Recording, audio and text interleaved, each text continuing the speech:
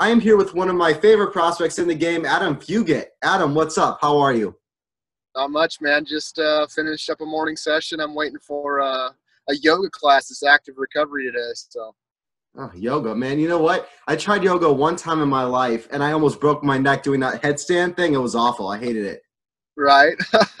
I try to stay away from that. Just do the, the simple stretching and you know keep the body moving. That's all today's about. Yeah, it's wise, it's wise, it's smart, but I'm not going to do it. so, LFA 51, September 28th. As we were talking before the interview, LFA is a big show, big opportunity. How does it feel? Dude, it's awesome. I, have been waiting for this opportunity for a while now. Um, I'm just kind of, I'm grateful that things have fallen into place like they they are. Um, you know, um, I quit my, my my day job back in July to to chase this thing full time. So for this to come along like it has is it's just a blessing, you know, for sure. Yeah, it's awesome, and that's awesome. So typically, and you've done very well as a welterweight. If I recall, I believe this fight is at middleweight, correct? It is. Has that affected very much, or or not really? No, not really. I mean, it's made me uh, it, it's made me a little bit more tolerable in the tolerable in the gym. You know, I'm I'm not dieting quite as hard. Um, yeah, I think I'm much more of an enjoyment here right now at this point in the camp. You know, uh, you know, working just as hard. You know, getting extra practice in still, so it's great. So, great. do you plan on uh, you know sticking at middleweight after this fight, or kind of whatever opportunity comes up? Uh, I don't. I plan on getting back down to the welterweight division. You know, um, this was just kind of opportunistic. I seen the matchup, like the matchup. He's a you know stand up guy. He likes to stand up. I, I don't mind standing up. I'll go wherever the fight takes it, and uh, you know, I just really like the matchup, and it was a foot in the door with LFA, which you know that's where I want. That's that's kind of jumps I, I need right now. I want to get noticed. I want um, the opportunities to keep coming my way. So. Yeah. So obviously, when I was looking at this fight card, I love LFA because they do a great job of promoting young prospects like yourself. And when I saw this matchup, I because I've, I've heard of your opponent, of course, and I thought because obviously, so I saw you had a Muay Thai fight a couple of years back, and you did like a spinning elbow knockout. I've been a fan ever since that fight, but I definitely think that this will be a stand-up war. For sure, yeah, I think it will too. You know, he uh, he likes he's a southpaw as well. He likes to throw the big left kick. I love the left kick. You know, that's one of my favorite weapons. But yeah, you know, um, I can't believe you, you you see me back then, man. Yeah, that was been some years ago, and yeah, I was uh, I was a crazy night. You know, things fell my way, and you know, I'm I'm thankful for that. And I think that you know, I'm gonna go in there and you know do what I do best, and and I hope you know, I'm anticipating the fall my way this time too. Yeah, yeah. So Kailan Hill, uh, obviously, as you said, he is, I, I would consider more of a stand up fighter. But what parts of his game, what parts of his stand up do you plan on exploiting? Honestly, um, in close, you know, I might be long, but I really like elbows. I've grown to love them. You know, elbows and knees and uh, sweeps. You know, if he he's not if he's too heavy on his feet, he's gonna get swept to his back. You know, with, with something like a Muay Thai sweep or a trip or you know, um, I wrestled for many years look, be ready for him. That's what I want to do. Yeah, actually, I was going to bring that up because one thing I really like seeing with, with these, I mean, fighters in general, you have to be a well-rounded. Like back in like UFC one days, you could be really perfect at one area and not know any other thing. Today, today mixed martial arts, you have to be well-rounded.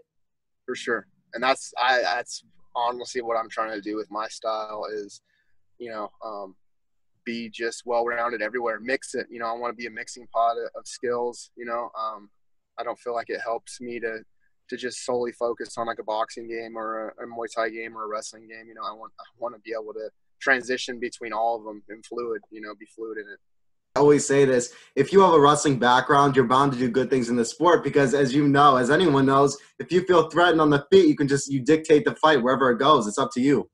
That's right, man. That's why I, I did the Muay Thai for so many years. Is uh, you know, I, I jumped in here because I had been grappling forever. I jumped into my, my my home now, my gym now, and and got just handled in Muay Thai, you know, by this fighter. And you know, I was like, wow, every fight stands on starts on its feet, and I got to get comfortable here. So I did that. You know, I, I chased that that uh, dream for a little bit in Muay Thai, you know, and uh, and really hone my skills there, and, and it's just done wonders for me, you know.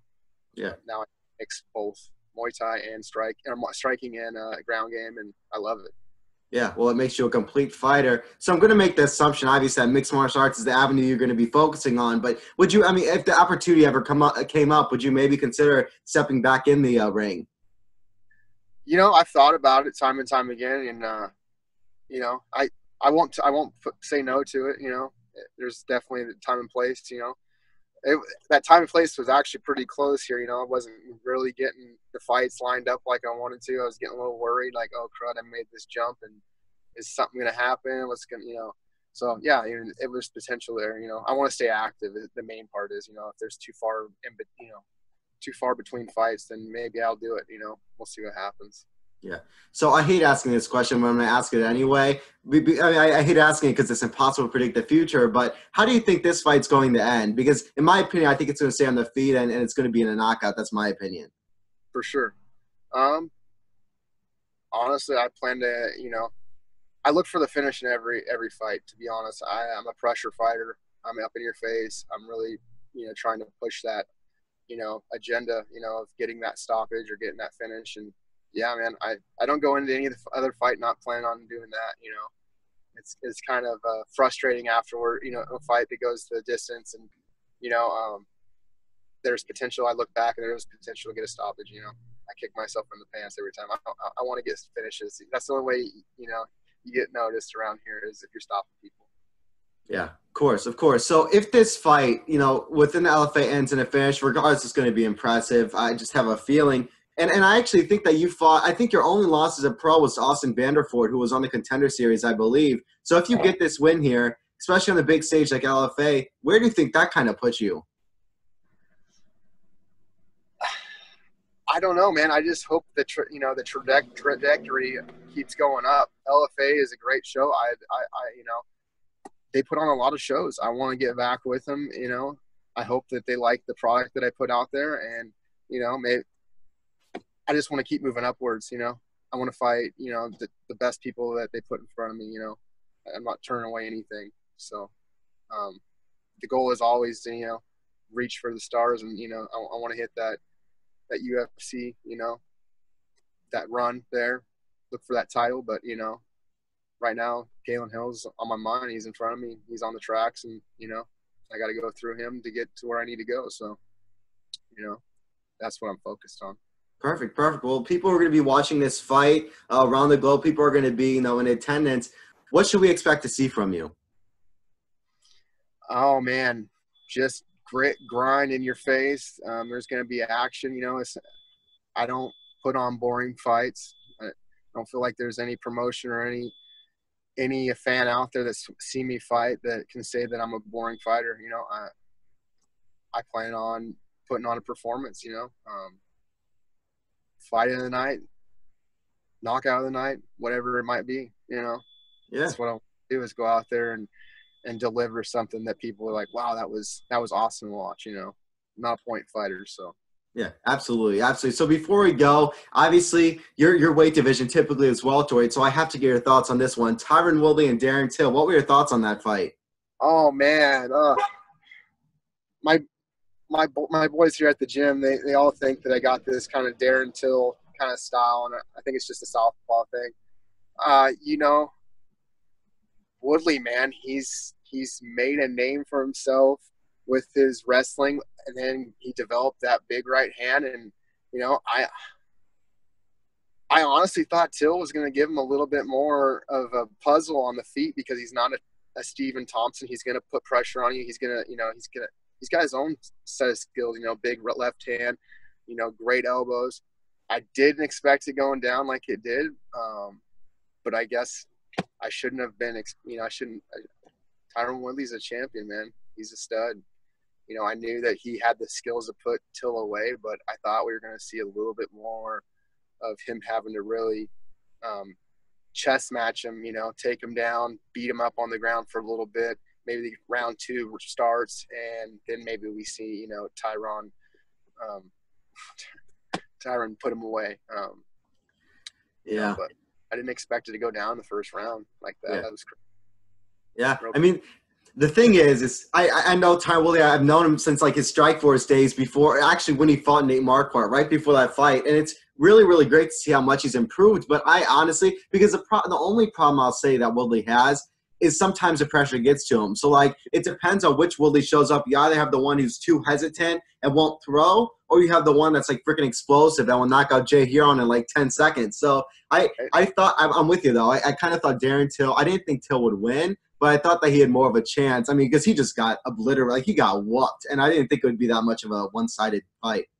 I thought we'd see a little bit more of like the Rory MacDonald fight against, you know, um, against Tyron. You know, that's what I thought. You know, but yeah, when you come in with your your hands down, your chin up, you're gonna get clipped, man. Yeah. So, I got told that my, my buddy here at the gym is a big Woodley fan, and he kept saying that he's like, oh, you know, Till comes in with that chin high, and it's not good for a right hand. You know, Tyron's right hand, it's not gonna be good. So I think I, I, think the only fight to make now uh, within that like top you know four or five would be uh, Stephen Thompson and Darren Till. I think that that would be a really good fight. Oh yeah, they they got a rematch. I think you know they already fought once. That was a, a close close fight. You know, um, yeah, I'd love to see that fight again. Yeah, for sure. Hundred percent. Well, I can tell you, Adam, I'm definitely looking forward to your fight, LFA 51, September 28th. The floor is yours. Anyone you'd like to thank? Uh, I'd like to I'd like to thank LFA for sure. You know, for sending out the the invite, and then um, you know my sponsors, Evergreen Roofing here in Eugene um, Hop Valley Brewing, uh, Brad's Cottage Grove Chevy, and you know, without those guys, without those those three sponsors, really, you know, backing me and, and helping me, you know, this would be tough. You know, um, it's already tough as it is, but they make it a little make it a little easier, and I appreciate all the love from those guys.